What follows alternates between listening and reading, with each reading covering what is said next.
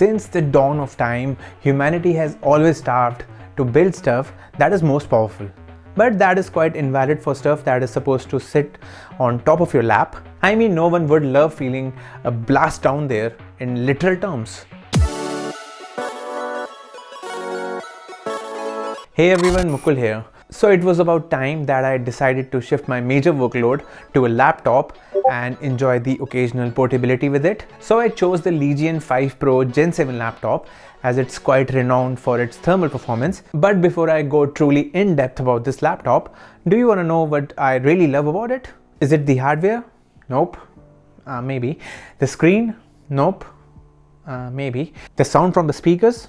Uh, well, definitely not. What I truly love is the fact that they include 3 years of on-site warranty in the price of the laptop. This could be because of the fact that they have already adjusted the service cost within the price of the laptop or it could be that they have built the laptop so well that they are themselves very confident about the reliability of the laptop. I mean your guess is as good as mine. I went with the Ryzen 7 6800H with RTX 3070 and a 32GB RAM variant as I really multitask a lot, like a lot and then I constantly fail in all of them. In my kind of workload, the whole memory can be consumed instantly by the many polygons I sometimes use in 3ds Max interface. The GPU was primarily preferred because sometimes I also do a lot of GPU rendering and or make stuff that makes good use of the 8GB VRAM and also because I occasionally enjoy playing games like Cyberpunk, uh, Counter-Strike Go, Division, etc. The design is pretty simple and plain with just one branding on the top. The storm grey color has a nice finish and no elements of the laptop try to scream anything remotely tacky, except for these many stickers which you can take off if you want to. I mean AMD clearly tried to be pretentious by slapping two of its stickers, uh, but I assume Intel does the same. But I'm pretty sure I'm never going to use Radeon ever for any task when the laptop has an RTX 3070 in it. The vents are on the sides and on the bottom. The legs on the base have a good height for better air circulation when the laptop is placed on a hard surface. I believe except for the keyboard and touchpad area, every other surface on the laptop is aluminium and they have built it very sturdy overall with no weird creaks whatsoever. The lid opens up without lifting the heavy base of the laptop and now as we are talking about the weight of the laptop, yes the beefed up laptop is most undoubtedly heavy. But that's not the only thing you have to worry about if you plan to make good use of the portability of the laptop. The 300 watt slim tip charger is a tall and heavy adapter. And believe me, the word slim has been carefully crafted to gain a psychological marketing advantage. On its own, it's almost 1 kilogram, uh, actually 880 grams, but you get the point. So by doing simple math, the total weight to carry becomes something that might bother many weak puny humans. Not me, because of bot properties. There are ports on all sides of the laptop. The two powerful USB-C ports are on the left, on the rear, you have one USB-C 135 watt power delivery port too. And then there are many other ultra useful ports that only come with heavy laptops mostly these days. And on the right hand side, there are other ports and a neat webcam shutter button. There is sadly no USB 4 port on the laptop. The webcam shutter button is very handy, but then it would have been definitely more useful if there was a light somewhere on the laptop indicating whether the webcam hardware is enabled or disabled. Right now, I just have to make a good guess by fiddling with it anyway. And talking about the webcam, well, it has a really shitty quality. And this is how the poop video quality is from the webcam on this laptop.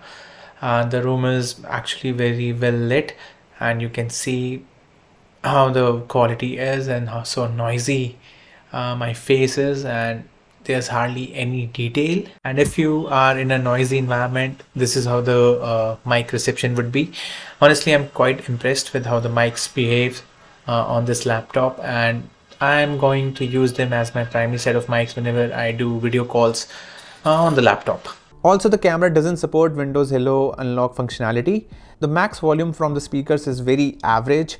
There is no strength in the lows aka bass and the vocals also sound a bit hollow and tinny.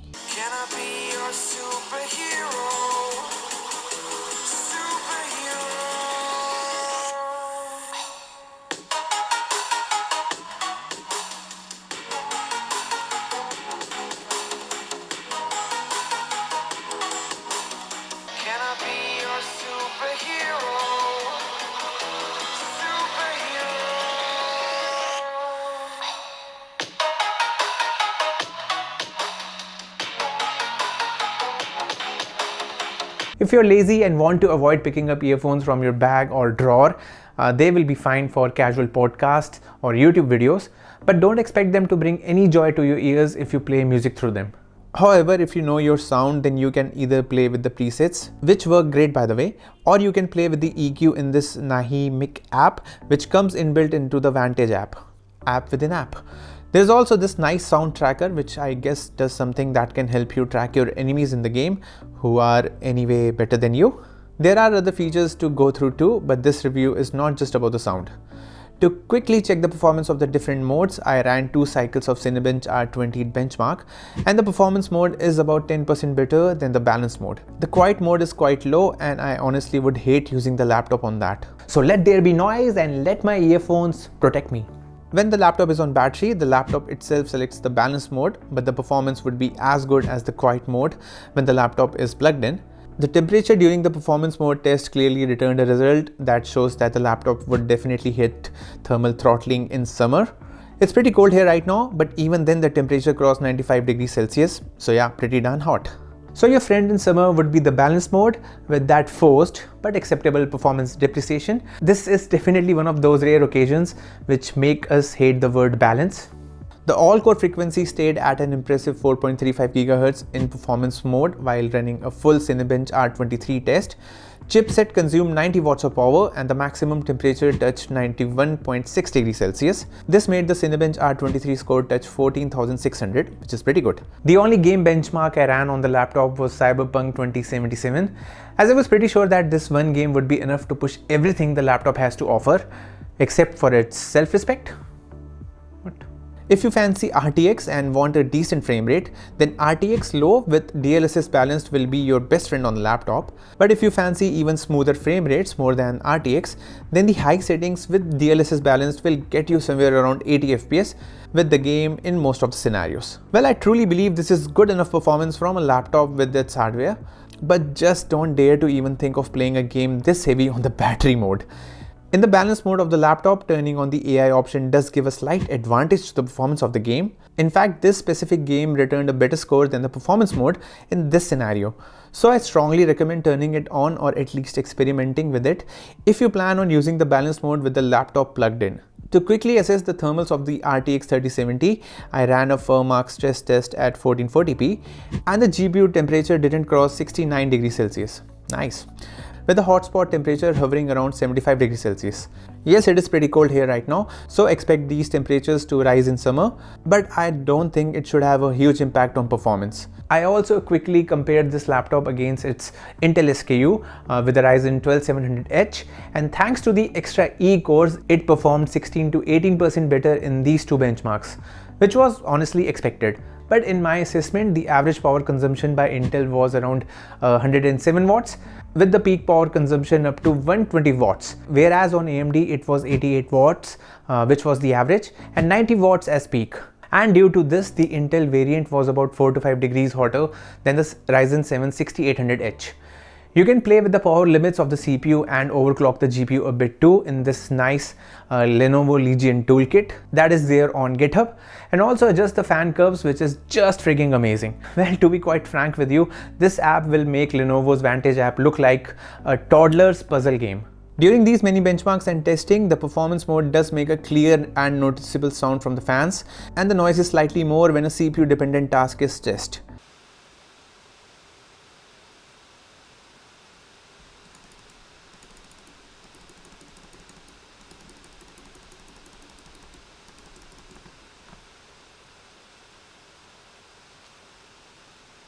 The 165Hz 16-inch display covers a good Adobe RGB spectrum, but the DCI P3 coverage isn't that impressive.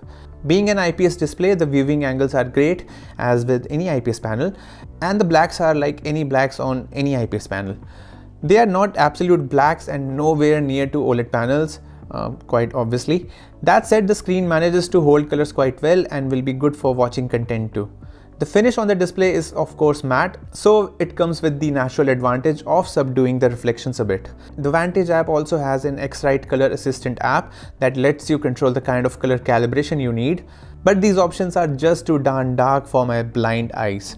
but they are supposed to be as close as color accurate, so at least for assessing vivid images or graphics, this can be really helpful. The panel is ample bright indoors and in a dimly lit room the brightness could actually hurt my eyes, but viewing it outdoor will just be manageable. Although all the best playing games on this laptop outside without the adapter hooked to it. The panel had its areas of IPS glow which is typical with IPS panels but I really couldn't notice any backlight bleeding spot so yeah lucky for me. The whites are quite accurate on the panel but the colors lean towards generally being slightly oversaturated for that punch in stuff you know. The grays are average in terms of uniformity. For content creation, you can rely on the display, but if your job needs extreme color accuracy, then I would not recommend this display for it. The text clarity is just slightly above average and if you play with text scaling and reduce it even further, then they might appear a bit softer. You can use clear type text to make them a bit sharper, but then this isn't a full-fledged solution as the panel itself has a limitation here. But the 165Hz refresh rate uh, does make the screen feel ultra smooth and there's also an overdrive option uh, in the Vantage software that gives a slight improvement in trailing or ghosting and without actually affecting the screen brightness. I'm honestly quite impressed with the latency performance of the panel even though it's not one of the best because not many of us are die-hard FPS zero latency gamers. The screen is also G-Sync capable which is again a free advantage. The Wi-Fi touched about 500 Mbps on a 1 Gbps plan in the same room from my old paperweight router that doesn't support Wi-Fi 5 or 6 or 6E. The touchpad has a weird position and I didn't like it a bit. It's too left oriented and I kept hitting it unintentionally when I used the laptop with the mouse. It's because this laptop chooses to have this typical layout for these arrow keys for baby gamers I guess. So to fix this silly issue, I completely disabled the touchpad. The touchpad however has a good size and the feedback was quite decent, but it definitely doesn't feel like top tier quality touchpads. I think I can pretty easily get used to the layout of the keyboard as the spacing is just perfect for my large hands due to the form factor. The dedicated numpad keys can help you improve your poor math dedicatedly. The keys have a decent amount of travel too.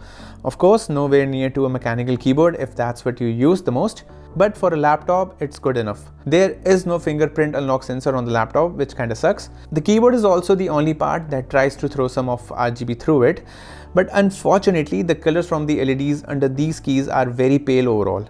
They don't correspond well to what the software tries to show and are terribly off. And even in rooms that are decently lit, these lights won't appear to be vibrant. But in darker rooms, they will do the job they are supposed to do well, of lighting the keyboard's keys and stuff. But the battery really disappointed me. The battery drain on this laptop is pretty fast, and this is quite expected seeing the laptop can't really reproduce its performance without its slim but heavy adapter in balanced mode with dGPU selected and 70% brightness with speakers not in use. The laptop gave a battery backup of just 3 hours with general browsing and doing some of my work side by side. And in the same condition testing the battery with iGPU selected, uh, well that gave a slight bump of 20 minutes more uh, as compared to the dGPU. So not much of a gain here really. Also selecting iGPU gave me a weird bug with Photoshop, so I'm going to passionately avoid it. Running a YouTube video at 1080p consumed 50% of the battery in 1 hour in balance mode, so that was also very weird. And in the quiet mode for the same 50% consumption, the video played for 1 hour and 10 minutes more. I am mighty unimpressed. The conservation mode won't charge the battery above 80%, so you can save some health of your battery for the long term, but turning on rapid charge will disable it. In my testing, if you're on the go and really want to juice up the already lame battery on the laptop, then definitely use the rapid charge as I was able to charge about 60% in just 22 minutes. But I do plan to reset the whole Windows and then assess the battery again. So I will put my new findings in the pinned comments below. If there is any change, I will definitely make sure to modify my uh, opinion on the battery of, of the laptop. One huge issue I have encountered and that could very well be a Windows 11 bug. Well, it's that the laptop just doesn't wake up from sleep. It just loves sleeping. The only solution might be resetting Windows, but nobody got time for that. So I'm not allowing the laptop to ever go to sleep, at least until it's plugged. Well, if you just go by benchmarks, you would notice that the Ryzen 6800H falls behind the 12700H by a good 10 to 15% margin, even when most of the laptops with these different chips are priced quite similarly. But I thought I would go with it just because of the fact that the Ryzen platform might uh, give me a better battery performance for the times when I would need to do a task without a power outlet near me. But the battery performance, at least on my unit, has terribly disappointed me. Even when I'm not comfortable with something with e-cores inside of it and micromanaging performance of few of the apps that might just fail to recognize these e-cores and the performance cores and get confused and then I have to use these other third-party apps to fix this. Even with those thoughts in mind, I do miss not achieving a higher score uh, in benchmarks for the same amount of money just for the heck of it. Even when except for CSGO, uh, both of these chips might perform roughly the same for most of the eyes for most of the games. But the performance has been ace so far without any hiccups on this laptop for both work and gaming in my case. And noticing that the US versus India pricing doesn't seem to be that different was quite surprising and pleasing to me. But for the price, I would have definitely loved if the laptop had better set of speakers on it and a less embarrassing web camera. But these are clearly cheap ways from brands like Lenovo to save pennies uh, from the production line, even from their top tier laptops too. So if you like my efforts on the video and you choose any of these laptops that I have mentioned in the video, then you can support the channel by buying from the Amazon affiliate links that I will post below. And if you want to discuss more about laptops or tech in general, then you can also hop on to our Discord server. So stay safe humans, MuBot with a machine on his lap out.